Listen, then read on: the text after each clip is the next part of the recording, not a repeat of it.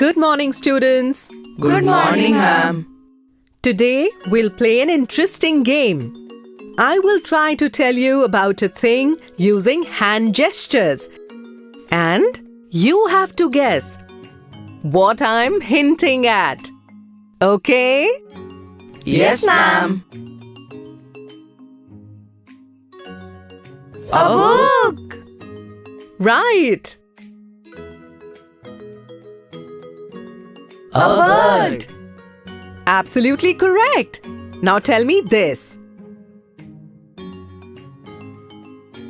A bull. Bravo! All my students are so smart.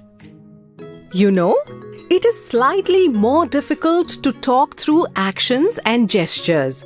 The game we played today helped us understand how can we talk without using words. This is difficult, but not impossible. Have you heard of sign language? Yes, ma'am. My distant cousin Rani is hearing and speech impaired.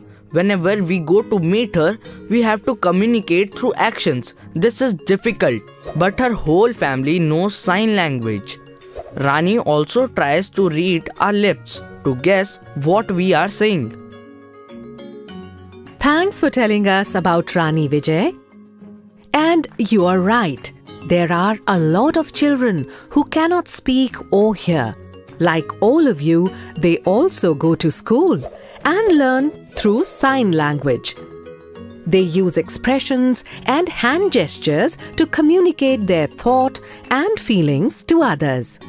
There is one more place where hands and expressions or mudras and bhavs are used in dance. If you've ever seen classical dances like Kathak or Bharatanatyam, then you would have noticed that the dancers use a variety of mudras to narrate mythological stories. Observe the pictures of a few mudras now. This mudra depicts a peacock. This one, a bird. And this one, a mouse. Think of one more classical dance Kathakali. Have you all ever heard of this dance form? Yes, ma'am. This dance form is counted among the most prominent classical dances of Kerala. You're right, Shreya. The most fascinating thing about this dance form is the abhinay, or the ability to narrate a story through facial expressions. Look at these pictures of Kathakali dances. Aren't they amazing? What do you notice in this expression? Anger. Now tell me, if I say my doll is lost, won't you find it odd? Our faces mirror our feelings. A toddler who cannot yet form words is able to say so much using expressions and hand gestures. Now, I will tell you about some people. You have to guess the expression on their faces. Pooja was gifted a new frock today. What would be her facial expressions? Neeta's father found out that she hasn't completed her homework. Neeta's father would have what kind of facial expression? Vinay has punctured the tire of his new cycle. How will Vinay show his feelings on his face?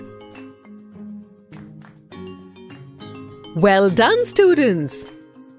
There are many ways of communicating our thoughts and feelings. Do you know there are some books which don't have words but only pictures? We can form a story looking at these pictures. Come on, let's try this. I will keep a picture in front of you and you have to narrate what's happening in it. There is a crow in this picture. The crow is thirsty. The crow sees a picture. He becomes happy. The pitcher has very little water.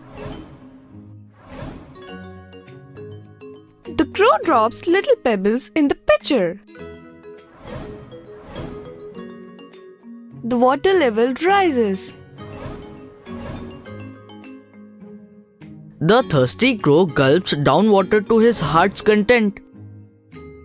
Very nice. I hope you enjoyed today's class. Today, we learned that there are many ways of communicating without using words. We talked through actions and tried to understand how people who are hearing and speech impaired communicate. We learned how stories are narrated in classical dances using facial expressions and hand gestures. Then we focused on the importance of expressions and finally made a story by reading pictures.